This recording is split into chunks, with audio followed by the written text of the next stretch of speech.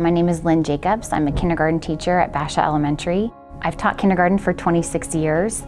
I've been in the district a little bit longer as I started out as a paraprofessional while still in college. I've been fortunate enough to work under many um, principals over the years and been given the opportunities to attend conferences, um, different workshops within the district that our principal has made available to us. Always been supported by them and worked very closely to ensure that I'm giving the best instruction possible in my classroom and doing the best to serve a community around us. I am Chandler Unified.